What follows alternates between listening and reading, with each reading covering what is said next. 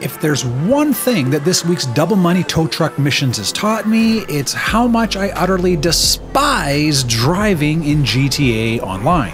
Whenever I get behind the wheel of anything in GTA, I always say the same thing. Is it just me, or does the NPC aggressiveness when you're driving seem to have increased? I mean, it literally feels worse each and every time I have to drive in GTA. Now, I don't know, maybe I'm in the minority here, but my main mode of transportation in this game is the Mark II, I'm not a griefer, money grinder. And if you're a money grinder, the Mark II is your best friend. But even if they took the Mark II away tomorrow, I would not drive in this game. I'd use a Buzzard, the F-160, hell, I'd even use a Cargobob before I drive the roads in Los Santos. Yes, I find driving that bad. Now, I do understand that Rockstar needs to implement many different traffic scenarios in order for the game to feel challenging. I mean, you can't have an incredibly decreased traffic environment without everyone driving around like Grandma Mabel. It wouldn't be fun.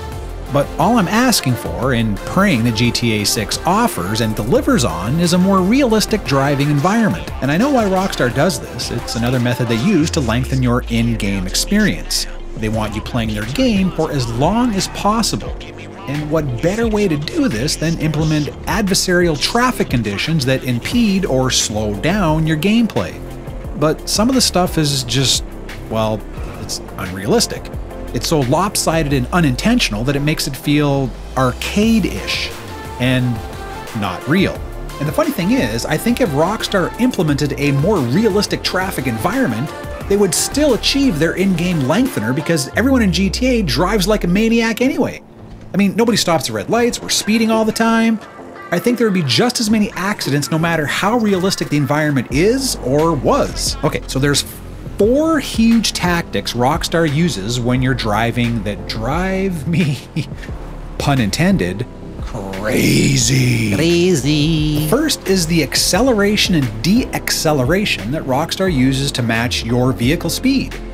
You see this all the time. There'll be a slower moving vehicle in front of you, and then, defying all the laws of physics and reality, that same slow vehicle will instantaneously accelerate to your speed. This is done for several reasons. The vehicle speeds up to run into you, block you, or just cause general chaos. It's very annoying, and again, not very realistic. Alright, so this is a perfect example. So I'm doing my bike deliveries, and I make a U-turn here. And as I come around, if I pause it right here, you'll notice a big tractor trailer truck, a white one, that stopped at the stoplights here. It stopped. So as I move this forward, it suddenly takes off with incredible speed, which is unrealistic. A truck that big does not accelerate that fast. And watch as it keeps going past the intersection, and as soon as it gets past the intersection when I'm behind it, then it'll slow down. Speed up, and then it slows down. So in this next example, this is part of the agency. I believe this is the party that you have to go and break up, and then you steal a supercar. You have to follow the helicopter. As I come around the corner, you'll notice right here, there's a white SUV. It just turned onto the road that I'm traveling on. Okay, this is like this is an SUV that's much heavier than my supercar. And it just pulled onto the road. So it's basically going from a stop and is turning and it's coming onto the same road as I am. Okay? Now I'm gaining speed here. Just watch how fast this SUV picks up speed. I'll play it. He turned the corner, and already look how fast I'm going. It's doing the same speed as me in a matter of what, a couple seconds? It's unrealistic. The second is not really a vehicle tactic, but a rules of the road tactic. Have you ever paid attention to how many red lights you encounter while you're driving? I'm guessing probably not. As I said earlier, everyone, including myself, drives like a maniac in this game, and we all tend to run red lights. But next time you get a chance, try driving around town where there are a lot of traffic lights. Chances are an extremely high percentage of those lights will be red. Again, for reasons already explained, this is Rockstar's way of impeding or slowing you down. Not because of the red lights being red, Rockstar already knows you're going to run those, but because it gives them a legitimate reason to send cross traffic through the intersection to slow you down. Now, I don't know what the stats are, but it has to be north of 90%. The third tactic is incredibly frustrating. This is when an oncoming vehicle or a vehicle entering your roadway from either direction turns in front of you. and then stops. Just watch these two videos here and you'll know exactly what I mean. Everyone has, I'm sure, been through this. It's the most unrealistic traffic action that Rockstar designed in. It simply makes no sense. I don't care what country you live in or what laws you may have, but turning in front of an oncoming vehicle and then stopping is not legal. It's not sane and it's not realistic.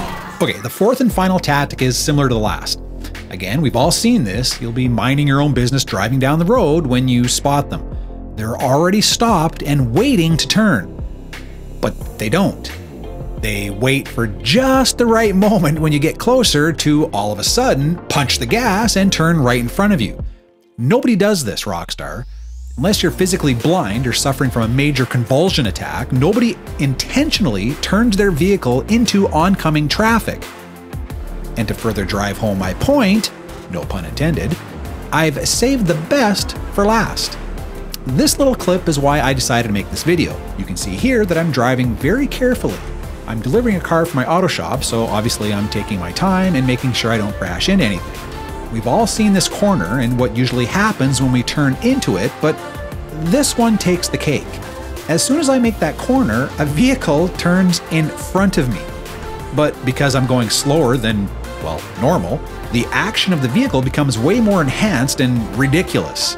This is why I hate driving in GTA. This is not normal. It completely takes away from the otherwise beauty of the game.